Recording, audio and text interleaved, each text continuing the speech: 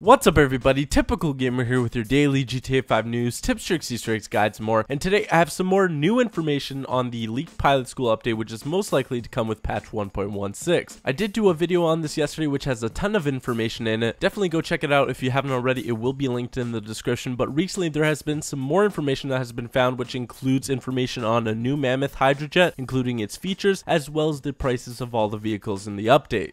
Before I jump right into this information, I want to thank ChromeMods for this leaked info. Be sure to check him out in the description below. He's a credible leaker who I've talked to before and has a high percentage of accuracy. With that being said, I'm very confident that this information is legit, but always take this kind of stuff with a grain of salt just in case Rockstar does change something. Like I said, this leaked information is about the Pilot School DLC, which is most likely patch 1.16, and it's most likely coming this Tuesday. And the reason I say that is because this coming Tuesday, August 19th, is the National Aviation Day in the USA. Now onto the new details details. First up, we have the Mammoth Hydra. Of course, this is the Hydra from GTA San Andreas that most of you know, and it's also the Hydra that we saw in one of the early gameplay trailers. This is going to cost 1.7 million to purchase in GTA Online, and it will have its hover mode that most of you probably saw in GTA San Andreas. What's actually really interesting is that the code suggests that it's going to be a two-seater jet, which is pretty cool. Onto the next plane, we have the Western Besra, and this thing is going to cost a whopping nearly $2 million to purchase, making it the most expensive thing you could purchase in GTA Online, and by by far the most expensive thing that you could purchase through the updates. Next up we have the Buckingham Miljet, the one that apparently seats 16 players, which is a full lobby in GTA Online. This one is going to cost $1.25 million, so definitely not as much as the Besra or the Hydra, making it the least expensive plane that you could buy in this update. Finally, we have the Invetero Coquette, and it is at $665,000, and this is confirmed to be a vehicle because it's not in the same category in the coding as the other three planes.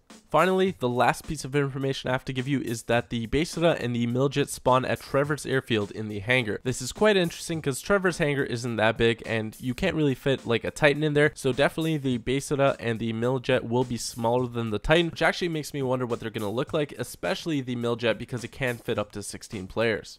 Now, with all that being said, this update seems to be very pricey. I mean, if you add everything together, if you want to buy everything, it will cost you a whopping $5.6 million. So definitely start grinding and doing some rooftop rumble if you haven't already. And of course, that price doesn't include the new helicopter that's supposedly to come out or any of the new parachutes or reserve parachutes or clothing or anything like that. To help you guys out, and thank you guys so much for all your amazing support, I will be giving away a couple of shark cards this weekend. So just pay attention to videos or just follow me on Twitter, twitter.com slash typicalgamer for more information. I'm really excited for this update and I hope you guys are too. That's what I want to know today. Are you guys excited for this update and which part is the most exciting to you? Be sure to leave a comment below. Thanks for watching. I hope you have an awesome day and peace out.